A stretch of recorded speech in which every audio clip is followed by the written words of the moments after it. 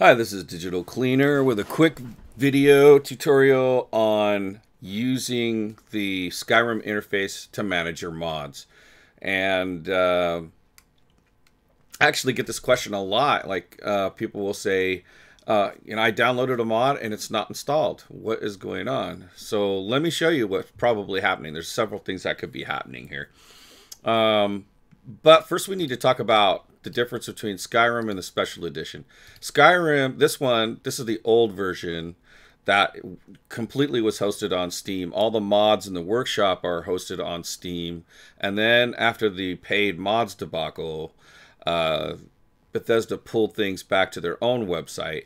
I don't really want to go into that whole thing. Let's just say Steam is a digital storefront, not unlike Amazon, and they represent many different customers who want to you know advertise and market and have sales and you know use all of those uh, special bonuses that Steam has that way better than Amazon could ever offer any of their customers.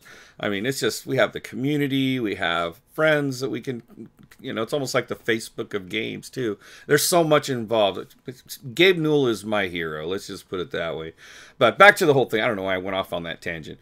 Um, so that being said that the old version is on here, there's different ways these are managed. So I already have a video up on how to manage your uh, mods.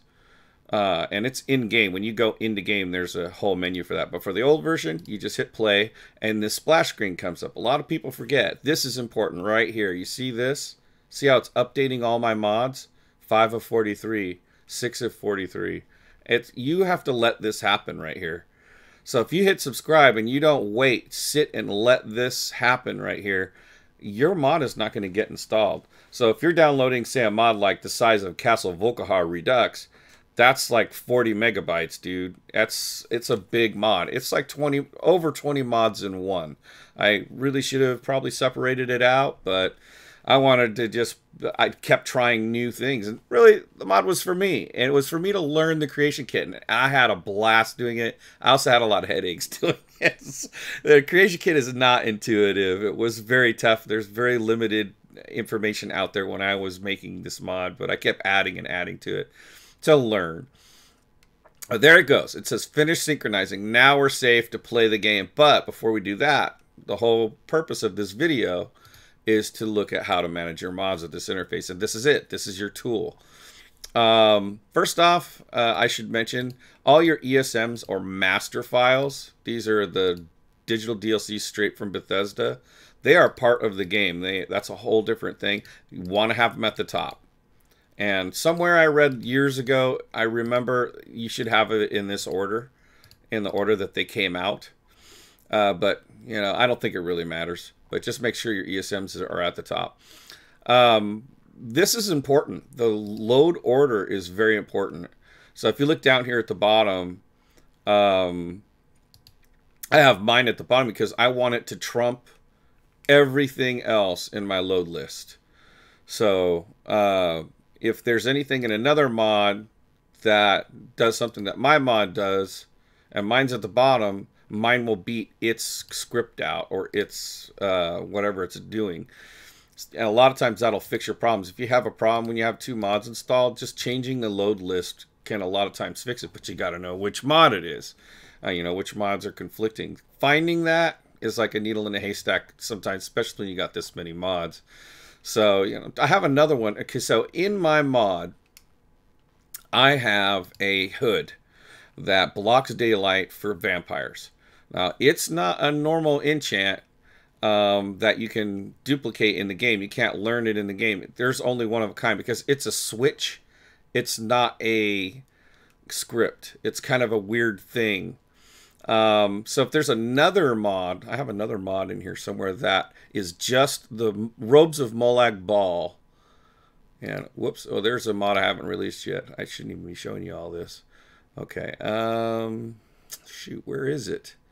Anyway, there is another one I have that's got a just the rope. Some people didn't want the castle; they just wanted the armor and the weapons for my mod. So I have that out on, on the uh, both Bethesda and the Steam Workshop. But uh, if I want the the hood to work in my Castle Volkihar mod, I move it to the bottom. If I put those, let's say this one was the one that was my mod, and I wanted that hood to work and not the one in Castle Volkihar, then I would move that below. So that's basically how that works. So, you know, if you have something that you want to trump all the other ones or beat it out, you have to move it down like this. It's kind of a pain. Look, we catch up with it. See where it is. Just keep clicking down until it's down there. And this is how you move your mods around. You can't drag and drop. No, no drag and drop functionality, unfortunately. And that's how you do it. Anyway. Um, also worth noting is you see how I have these mods unchecked? Um, some of these I, I don't use anymore. Um, or I only use the Halloween one now and again, like when it's Halloween. Um, you don't want to delete mods. It sucks that you have to keep them on your hard drive. Um, but if you make a save with these mods in it, in your, if you, you know, and uh, you delete it, the save will be looking for the assets in these mods, and that can break your save. That can break your game, and this is where the problem comes in. This is mostly on the older version. I think the special edition I read somewhere they kind of fixed that snapshot save a little bit, so this isn't much of an issue.